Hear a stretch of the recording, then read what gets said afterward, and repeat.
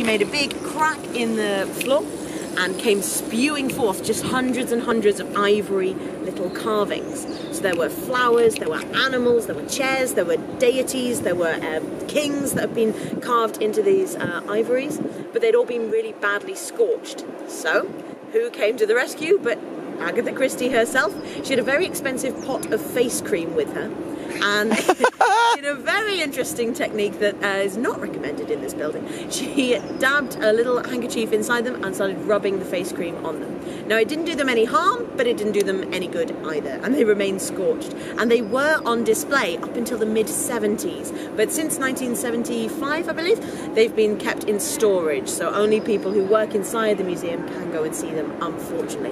There have been huge petitions over the years from Agatha Christie fans and from Nimrud uh, archaeologists as well to get these on display to the public, but they haven't come through just yet. So fingers crossed. Uh, there was a huge uh, push not too long ago with 75, uh, 76,000 pounds being raised to try and restore them, and it's not gone extremely well so far. So they are still under lock and key down there. What was the name of the city again? Nimrud, N-I-M-R-U-D, Nimrud. Was it in Iraq or? It's in modern day Iraq, yes. I hope this this is for the recording. I hope that's true. uh, it should be true. Yeah. I'll be looking it up. Exactly. That's all right. I know it was around Baghdad, and i but yes, modern day Iraq. It's coming back to me. It's fine. so yes, Nimrud. Um, yes, I think that's all I'd like to say here. We're going to continue down, and our next stop will be down Shaftesbury Avenue. We're going to St Martin's Theatre. Longest running play in the world is being staged even today. 67th year. It's been it's been here uh, in the West End since as long uh, for as long as the Queen's been on the throne. Wow. Started in 1952. Uh, I know. Now this is its second theatre. It used to be on at the uh, Ambassadors Theatre just down the road, uh, but they had to move it uh, back in. Uh, so it's been here for less than uh, minus 21 years. It's 46 years ago. So 46 years ago, they had to move it. So that's in the 70s. Uh, yes, 73. They had to move it. Sorry, that was terrible maths. I should have done that before I started talking.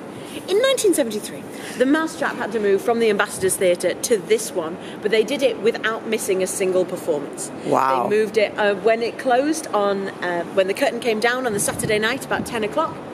They got everything going. The cast were in to help. The cast's families were in to help. They hired so many stagehands and they brought it all the way down, piece by piece, set piece by set piece, down the road into this theatre here. Now, two years ago, they uh, renovated the set again because it was the original set. It was getting a little bit rickety. Everyone was getting a little bit worried for their lives with that window coming down in the middle. Uh, so they renovated it. But again, they did that on from the Saturday evening onto the Sunday, and then it was ready for the Monday performance. So they haven't missed a single performance. Uh, for the 60th anniversary, they had a gala performance where they had an all-star cast. It was amazing. They had. Uh, but you know, Miranda Hart came in to play one of the characters. Harry Lloyd, they, they had a big cast. It was amazing. Patrick Stewart, of course. Ooh, Patrick Stewart. Was in it. But before they did that, uh, they went to a opening of a memorial. Now we're going to see that in a moment, of course. Uh, but they had to run from here because they wanted the memorial uh, to be unveiled at around seven o'clock. Which is when the play should start. So they were all in costume, but they were also in uh, light coats, uh, a, no, a dark overcoat, light scarf, and soft felt hats. They were all in the first uh, suspicious thing that everyone was seeing, so no one could tell who the murderer is. And of course, that's another huge thing. So when you see the mousetrap, They are you sworn to secrecy. Oh, is that right? Yeah. there's a little poem at the end that the actors say to say that if you've seen it, now you are in the knowledge, now you're in the curse, and you can't say, or you'll be cursed yourself. Oh, how interesting. Now, to that reason, for that reason, rather, uh, there is a clause in this, uh, the contract of the Mousetrap, saying that a film can't be made of it until it's been closed in the West End for a year. So that's never happened. Uh, too likely either. Uh, there's also a clause that says it can't be published in the UK until it's been closed for a few months. So, of course, because it's never closed, technically we shouldn't have any copies of the Mousetrap available to buy in the whole of the UK.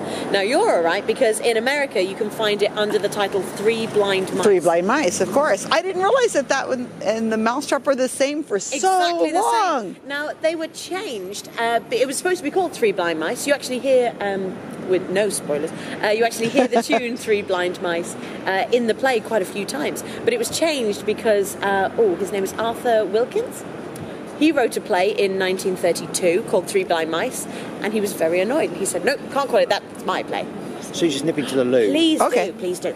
Well, wait here, don't you worry. Uh, so he said, you, you can't have that. My play's called Three Blind Mice. And of course, his being a much more famous play, um, unfortunately for him, has been lost into the void. But yes, they are the same thing. However, there is a cheeky way, because I do own a copy of the Mousetrap script. It's not called Three Blind Mice, it's called The Mousetrap. And it was published, there are publishers in Germany and in the USA who publish it with its English title, uh, The Mousetrap, and sell it over here. So if you see an imported bookshop, head over there and you can find Agatha Christie. But Oh, technically, interesting. that's very naughty. Uh, now, the um, the rights to the Mousetrap were given. Uh, as a birthday present to Matthew Pritchard, uh, who is Agatha Christie's only Grandson. grandson, Yeah. Mhm, daughter of Rosalind Hicks, of course. Uh, and it was his idea for the memorial that we're going to see just in a moment. So he's still getting uh, all of these royalties 67 years later. So a fantastic birthday present, I must say. Uh, now, at the moment, they are um, they've got a one pound levy. Levy. I can never say that word. Levy. Uh, Levy. an additional one pound levy. Thank you. Never said. I'm too Welsh for that word. Uh, they've got an additional one pound on top of every ticket price, and that one pound goes in its entirety to charities supporting uh, theatrical families. So people, you know, single parents who have children, but they're working in the theatre and the children need care, that kind of thing. Um, so still doing very, very good things. And we can see as well, we've got the cast list out here. Now that's very, uh, it's not unheard of, but it's fairly unusual in the West End. Usually you get the few stars, uh, uh, their names are on there, and then nobody else gets a listing, they just get in the programme. However, because we don't know who the murderer is, everyone's suspect. You've got to Oh. have every single name there. And if you do go and research them, I'm sure you'll find a couple of RADA graduates who have just finished who want to go in there. Uh, now, over 67 years, there have, of course, been many, many actors. Uh, there's one lady, her name is Maggie, and I can never remember her last name. I want to call her Smith. It's not Maggie Smith, it's a different Maggie. Uh, she served as a understudy for 40 years.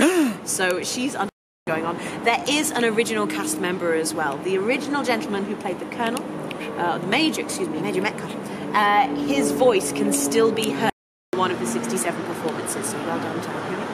Uh, I think that's about it. I always want to talk a lot more on this bit, but I think that's okay. I you can see Ben Twiston Davies and the date uh, 2012. That was the artist, and that's when it's put up. And this was uh, the brainchild of uh, Stephen Waley Cohen. I always get that name wrong. I want to call him Whaley Steve. Uh, Stephen Waley Cohen, who's one of the producers of The Mousetrap, and her grandson Matthew Pritchard. So they decided they were going to have this memorial right in the middle of Covent Garden, and they got Ben Twiston Davies, the artist, to come and do it. Now they've got her dates, of course, and the book. Uh, just a little nod to her being the third most uh, published author in the world, just the Bible and Shakespeare, as I said before. Uh, and we've got lots of information as well. So all of the two billion copies in hundred languages is something they love to say. It's also been in Braille, in Latin, lots and lots of languages like that. Any language you can think of, Agatha has got a book out in it, at least one. And over on the other side as well, Theatre. We're going to walk just around the other side and then I'll give you loads of time to read it all. There's lots and lots of information. On the other side, we've got, you'll be thrilled to see, the Joan Hickson version of Miss Marple. Oh, of course. And a very clear David Suchet as well. So they're meant to be the characters, but of course they've been influenced by who has played them on screen. We've also got Greenways up there, uh, her house in Devon, attached to our typewriter, and we've got a little character up there. Uh, the word is still out on whether it's Hastings at the end of Curtain or whether it's Poirot himself revealing. Oh, I won't say that. Uh, we've also got the Orient Express. We've got uh, the pyramids as well. Lots of things happening over in Egypt, and a few clouds. Now I love those clouds because they, uh, well, for me at least, are a very veiled little uh, reference to death in the clouds. It's one of my very favourite. Oh, okay, yeah. So I like that they've got those as well. That might be just me reading into it, but but I do quite like it. Uh, there's lots more information, and all this is available in lots and lots of different languages. There's a little uh, QR code, right I there. noticed, yeah. That's very modern on a, on a memorial. Oh, QR code? QR code You on a can scan it in, and You you get taken to the website immediately. There's lots and lots of information there. It's amazing. So if you do want to take any photos in here, now this is the detection club. Now this Blue was set building. up, uh, Which one? Sorry, Where's the blue one? this one here, kind of bluey grey. Oh, the gray. Okay, yeah. Blue to my eyes, grey to other people's eyes. I'm not picky, the blue grey. Um, so that is the Detection Club. Now that was set up in 1930 by Dorothy L. Sayers, Agatha Christie and Anthony Berkeley Cox. I'll say that again, Anthony Berkeley Cox. We've got an ABC. Oh. Now that was set up by the three of them, uh, not in protest of the Garrick Club, but as an addition to. So the three of them, uh, they wanted to collect the greatest crime writers they possibly could and have a club and a space where they could all write together, share their plot ideas, do all sorts of things like that. And this is where they chose. Now it is still running today, of course. Uh, it's flourishing. There are loads and loads of crime writers nowadays and detective novelists. So they do come here every now and again, but now it's more of an online secret society, that kind of thing. However, back in the day, uh, they were all very, very good friends. And when Agatha Christie went missing in 1927, she'd had a terrible year, of course. Her mother had died earlier that year, and on the 4th of December, her husband Archie left the family home to go and spend Christmas with Nancy Neele, his mistress. And she went missing. Quarter to ten that night, she went entirely missing. No one could find out where she was. Uh, she left a letter saying that she was going to Yorkshire, but then they found her car in a quarry with an out of date driver's license, some clothes in the back. It was all very mysterious. Where had she gone? So many clues. Now, the, the police thought exactly the same thing. They thought, well, all her best friends are crime writers. Bring them in. So Arthur Oh, Conan interesting. Doyle, he came along. He had a glove of Agatha Christie's, and he gave it to a medium. Oh my medium goodness. came up with nothing. Oh well, She duh. said she led them on a wild goose chase. Didn't work at all. So Arthur Conan Doyle, he's out.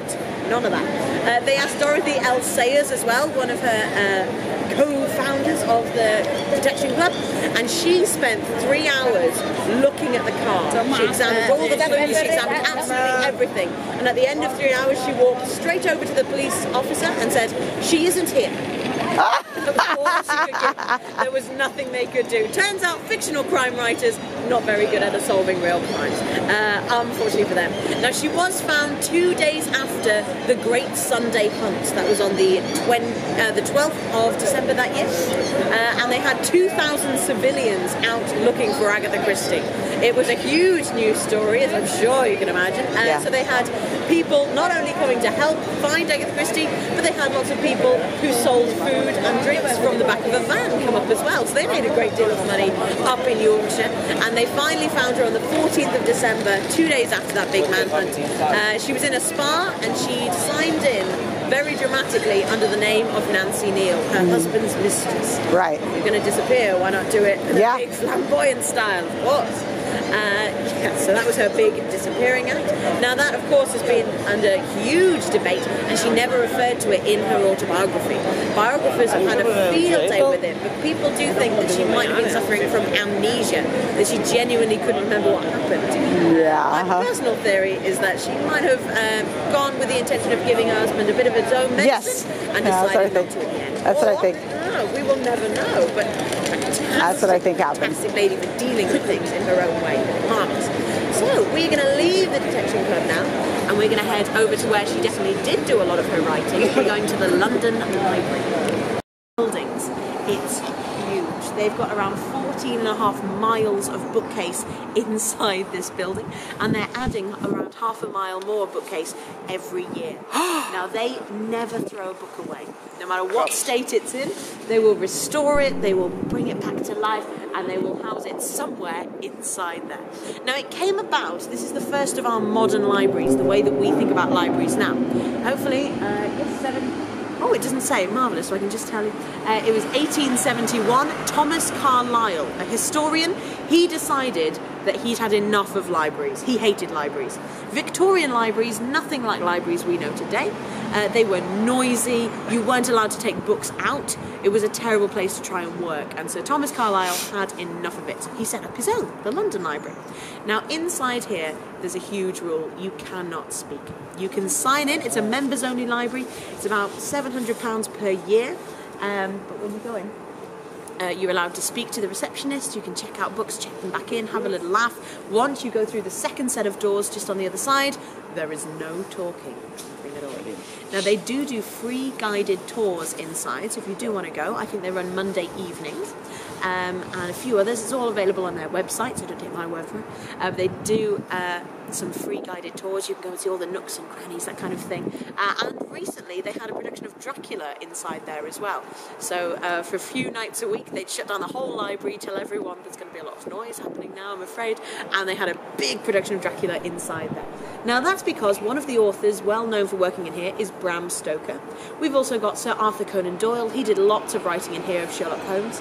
Uh, he even sent Dr. Watson uh, in one of the stories to come and learn all about Chinese pottery. In I remember that one, yeah. And then by the next week, he'd forgotten all. So he has to come over here. He's trying to help out Sherlock with a blackmailer. Yeah. Comes on in here. Uh, we've also got Virginia Woolf. She wrote in here. Uh, also, if you do, if you are a Virginia Woolf fan, you can go and see a dictionary inside there where her fingerprint is right next to a very naughty word beginning with the letter F. She looked it up in a dictionary and said, "Ha! Someone's defined it." Uh, Harold Pinter wrote in there as well. Charles Dickens and Charles Darwin's, both the Charleses, and Agatha Christie as well. She was a member here for a great many years while she was living here in London. Uh, she lived in Ealing for a little while. She visited there as a child quite a lot. Uh, that's where her step grandmother lived with all of her cronies from Ealing who uh, were the inspiration for Miss Marple as well. Um, she also lived in Chelsea. She lived on Sheffield Terrace down in Chelsea. She lived all over the place in London, especially with Max Mallowan. So when they were in Britain, when they were in London, this is where she come just for a little bit of quiet time. Maybe if Senate House Library was getting a little bit too rowdy. Uh, but it's an absolutely gorgeous building. I can't recommend it enough. Uh, maybe not to be a full member, that's quite expensive. Um, but those free tours are absolutely brilliant. They've got lots of those Beauty and the Beast style uh, rolling ladders as well, which are very Uh, okay. exciting to Yeah, yeah. Love those. What a historic little place. And also, we can't leave here without referencing Poirot. Now, he himself did not come to the London Library, unfortunately, not to go inside, but we do find Inspector Japp and Hastings and Hercule himself. I never know which one this is because it starts on an odd little bit. I think it's this coming from the markets, they'd eat their oysters and they'd throw the shells in this little alleyway here and it stank. It was absolutely horrible. So he decided he wanted to do something for enterprising ladies. So he built an arcade here. There are 47 shops, 47 places that you can set up store and they were all meant to be for industrious ladies willing to make a good day's work. Now, three of those uh, shops were taken up by ladies. Uh, the rest of them were taken up by milliners and dressmakers, all of whom were male, but because of their profession, they were referred to as madame. So technically, they got through. Oh, So- wow. Mhm. There are 44 gentlemen and three of the industrious ladies who were meant to have it.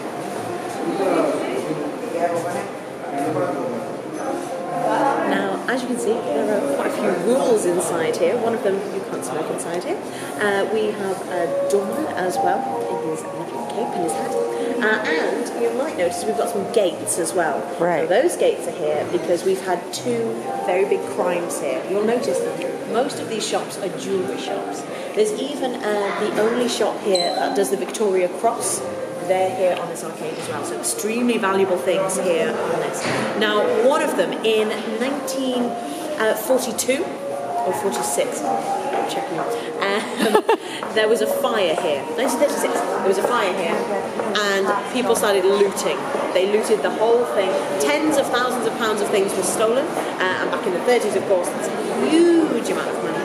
Uh, so they couldn't get everything back, and still lots of those items are still missing. Probably they've presumably been melted down into other things and sold off that way. Now, in the 60s, this is my favourite one, a Jaguar was driven down this arcade. They stopped about halfway through, broke into a jewellery shop, stole everything they could carry, and just reversed out again, and they were never caught. This is one of the most audacious jewel thefts I can possibly think of.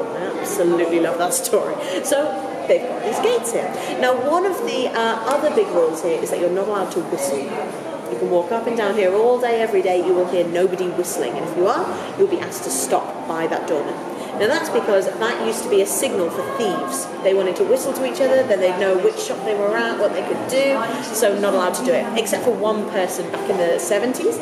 Someone, oh, 60s, excuse me. Somebody was walking down here. They had long hair. They were whistling away. The doorman went over and went, "Excuse me, sir." Turned around. It was John Lennon. I thought, well, fair enough. You can whistle. That's fine. So John Lennon's allowed to whistle here, and nobody else is, unfortunately. However, we do see this arcade. Uh, they could have used Poirot in a couple of those looting and uh, all those kind of things because we do see it in Poirot a couple of times.